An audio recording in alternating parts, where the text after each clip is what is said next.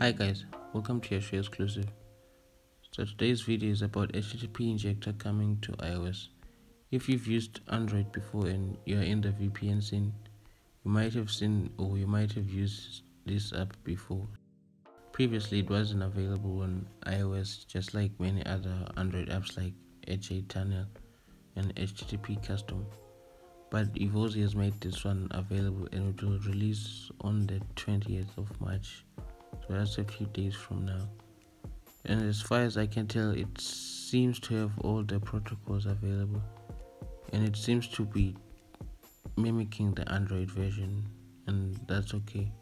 So i'll be mostly interested in using v2ray and i'll do a video on that once the app is available.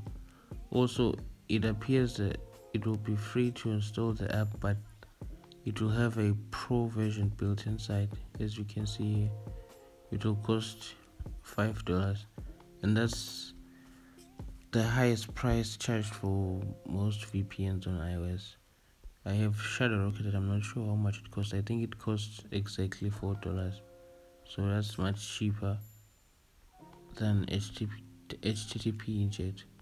So I'm hoping the free tier will have most available features. But as I can tell it seems to be having the most we need especially the tunnels. I just hope the ads will be or the pro version will be to add more tools. I haven't seen there's a tool inside the app which enables sharing your VPN connection. I'm not sure if it will be available on iOS, but we'll have to find out soon. Thank you for watching. Please like and subscribe.